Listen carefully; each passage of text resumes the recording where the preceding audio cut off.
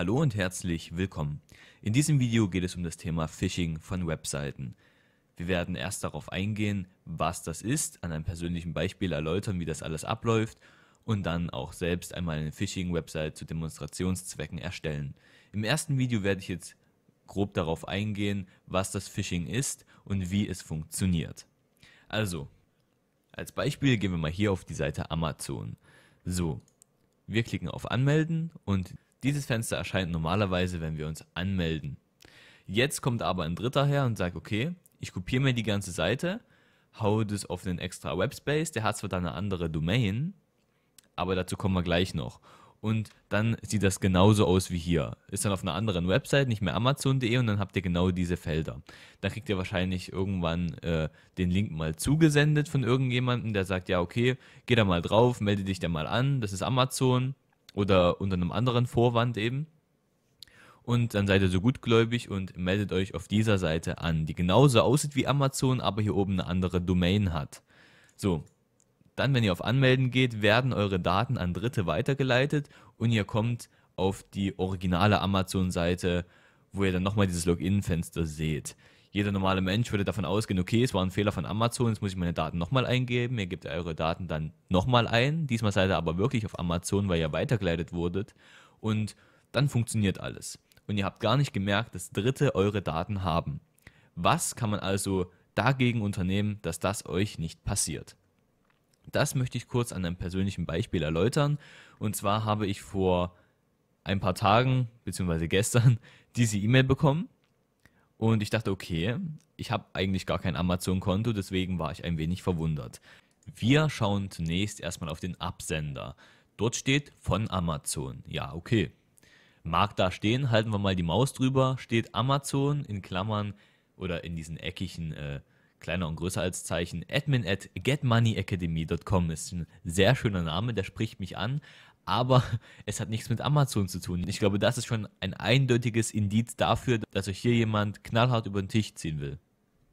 Was steht in der E-Mail drin? Wie zu sehen steht hier drin, dass meine Zahlungsquelle veraltet ist und diese aktualisiert werden muss. So, ich muss dazu folgenden Link aufrufen und das wäre dieser. Der sieht auch auf den ersten Blick für Leute, die sich mit der Materie nicht auskennen, sehr seriös aus. Hier steht Amazon.de, hier steht HTTPS, also auch äh, eine sichere Domain mit einem SSL-Zertifikat und ähm, Sign-in für Login praktisch und dann aktualisieren gleich True und Code. Jetzt ist es meiner Meinung nach ähm, ein wenig unseriös, wenn wir uns mal die URL anschauen. Aktualisieren gleich True. Aktualisieren ist äh, das eine Attribut, das hat den Wert True, also richtig. Und dann ähm, werden die Attribute ja durch ein und getrennt. Dann steht Code.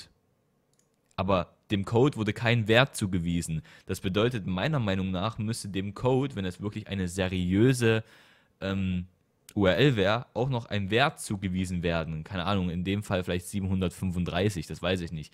Aber es ist schon mal sehr merkwürdig, dass dem Code hier kein Wert zugewiesen wurde, meiner Meinung nach. So, jetzt genau, jetzt gucken wir uns mal die URL an. Jeder normale Mensch würde jetzt sehen, okay, hier ist eine URL, da klicke ich jetzt drauf, da werde ich weitergeleitet zu der Seite, wo ich meine Zahlungsmethode aktualisieren kann. Das machen wir auch mal direkt. So, jetzt werden wir gleich weitergeleitet von web.de. Genau, jetzt sind wir hier auf dieser Fake-Seite angekommen, die genauso aussieht wie Amazon. Die hat sogar ein SSL-Zertifikat. Ähm, schauen wir uns dann gleich auch nochmal an. Hier steht amazon.de minus true minus app minus sid.account oder whatever das auch sein soll. Und dann slash Authentification und dann irgendein komischer Code und dann Step 1. So. Das ist jetzt schon mal äußerst unseriös.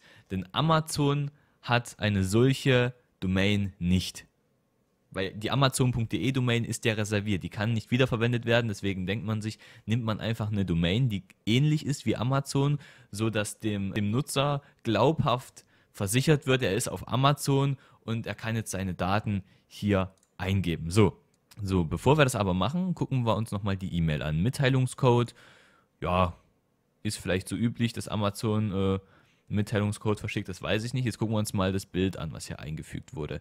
Weil das ist ja amazon.de und ähm, Jetzt gucken wir uns mal dieses Bild an hier. Das öffnen wir mal in einem extra Tab. So, was sehen wir jetzt hier?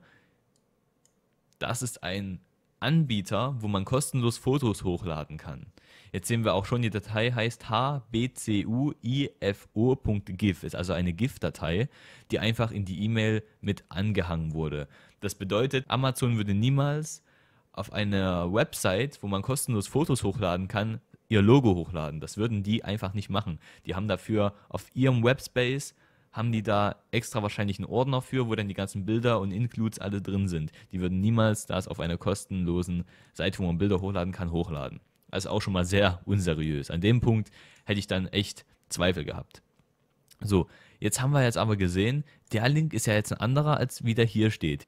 Und zwar kann das dadurch kommen, dass man diesen Link zwar sieht, aber hinter dem Link, was der Nutzer nicht sieht, ist der Link versteckt, der auf diese Seite weiterleitet. Das bedeutet, wenn ich mir jetzt mal den Link kopiere, wenn man das so machen würde und nicht draufklicken würde, kommt man zu Amazon und Amazon sagt, tut mir leid, die Webadresse existiert nicht.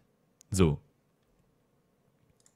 Aber man ist davon ausgegangen, dass man auf diesen Link draufklickt und dann kommt man natürlich auf diese Fake-Seite, sage ich mal. Also sieht ganz seriös aus, sieht aus wie Amazon, hat sogar ein SSL-Zertifikat, das schauen wir uns mal an mit F 12 im Chrome-Browser, können wir das sehen. Und dann äh, View Certificate. Jetzt sehen wir hier ähm, gültig bis 31.12.2017 und wurde ausgestellt von Let's Encrypt Authority. Ja, das ist mal was ganz Neues, damit hätte ich überhaupt nicht gerechnet. Ich habe damit sehr wohl gerechnet, weil ähm, dieses äh, Let's Encrypt, wenn wir das mal suchen im Internet, kommen wir hier, Free SSL-Zertifikate. Dort können wir praktisch für drei Monate unser kostenloses SSL-Zertifikat nutzen. Das habe ich auch persönlich schon gemacht mit einem V-Server und dann kann man dann mit dem Zertbot sich dann das SSL-Zertifikat holen. Das ist überhaupt keine Kunst. Also das ist echt ein leichtes an ein SSL-Zertifikat wie dieses ranzukommen. Man braucht bloß das nötige Hintergrundwissen, um zu sehen, okay, ist das jetzt ein seriöser Anbieter, der dieses SSL-Zertifikat hat oder nicht? Und hier sieht man schon, ja, es ist sehr unseriös. Aber was passiert denn jetzt eigentlich, wenn wir unsere Daten hier angeben? Ich mache das jetzt mal mit Testdaten, die natürlich wie immer frei erfunden sind. So, Passwort Test 123. Jetzt melden wir uns mal an. Dieser Account existiert übrigens überhaupt nicht auf Amazon. Das habe ich vorhin schon probiert. Er existiert nicht. Das heißt, wenn das jetzt die echte Amazon-Seite wäre, müsste Amazon nur sagen, es geht nicht, die Daten sind nicht vorhanden. Oder das Passwort stimmt nicht oder was auch immer. Klicken wir mal auf Anmelden und wir wurden angemeldet. Mensch, damit hätte ich überhaupt nicht gerechnet. Was jetzt aber wieder ein Punkt ist, wo ich auch nachdenken würde, wäre der hier oben. Hier steht Hallo anmelden. Das heißt, bei Amazon, wenn man angemeldet ist, steht dort Hallo und dann der Nutzername.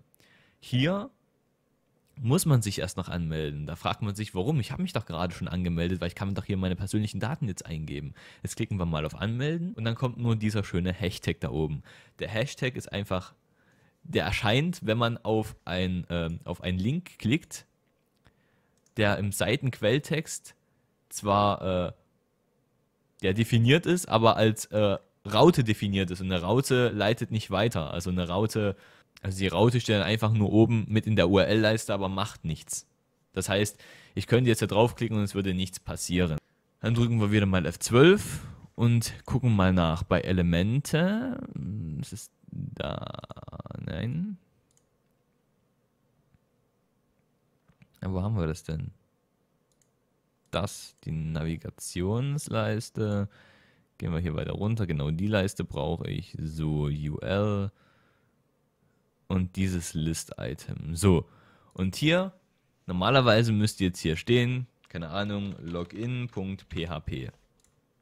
Steht dort aber nicht, da stand gerade noch Hashtag. So, wenn ich das jetzt schließe und jetzt hier draufklicke, dann würde ich jetzt auf die Login-PHP-Seite weitergeleitet werden, die mich anmeldet, aber da sagte mir ja Error, weil die Seite ja gar nicht existiert. So, jetzt habt ihr auch schon gesehen, das heißt, wenn ich die Seite jetzt neu lade und wie vorhin jetzt einfach Step 1 wieder eingebe oder wieder zurück will, mich praktisch abmelden will und die Seite einfach mal neu lade, komme ich trotzdem wieder auf diese persönliche Angabenseite, sage ich mal, wo ich jetzt meinen Vorname und Nachname eintragen kann. Aber hier wird nicht mit Cookies gearbeitet, so wie bei Amazon, sondern hier gehe ich ganz klar davon aus, dass hier mit Sessions gearbeitet wird. Sessions werden gespeichert, solange der Browser auf ist, also aktiv ist. Wenn ich den Browser jetzt schließe, erlischt die Session. Bei einem Cookie ist das anders. Cookies werden zentral auf dem Rechner gespeichert und können immer wieder vom Browser abgerufen werden und äh, auch von der Website abgefragt werden. Sessions existieren nur so lange, wie der Browser aktiv ist. Wenn ich den Browser schließe, ist die Session auch tot und ich muss mich jedes Mal wieder anmelden. Das bedeutet, wenn ich den Browser jetzt schließe und ähm, den Step wieder eingebe, würde ich wahrscheinlich dann wieder auf die Anmeldenseite kommen, die ja auch so gesehen gar nicht funktioniert. So, jetzt werde ich hier dazu genötigt, praktisch schon meinen Vornamen, meinen Nachnamen, mein Geburtstag und alles einzutragen. Kann ich machen. Ich kann jeden Mist hier eintragen. Ich kann natürlich alles falsch angeben. Das interessiert natürlich kein Schwein. Kreditkartennummer, ja. Irgendwas. Gültigkeitsdatum, irgendwas. Die Prüfziffer 1234. Limit auch 500. IBAN, irgendwas. Und Big äh, auch irgendwas. Gehen wir auf Fortfahren. So. Und jetzt kommt Verifizierung abgeschlossen. Sie können Ihr Benutzerkonto wieder wie gewohnt benutzen und dann freue ich mich doch und gehe zur Startseite und dann werde ich weitergeleitet auf Amazon. Ja, und die Zahlungsmethode habe ich auf Amazon gar nicht aktualisiert, aktualisiert, was gar nicht notwendig ist. Aber dritte Leute haben jetzt meine Daten und können die jetzt weiterverwenden und damit schön einkaufen und freuen sich natürlich jetzt. Und wie das Ganze funktioniert, das sehen Sie im nächsten Video, wo wir dann nochmal drauf eingehen werden. Was steckt dahinter? Wie komme ich als SSL-Zertifikat? Wie erstelle ich die Datenbank, wie speichere ich das alles ab. Das alles dann im nächsten Video.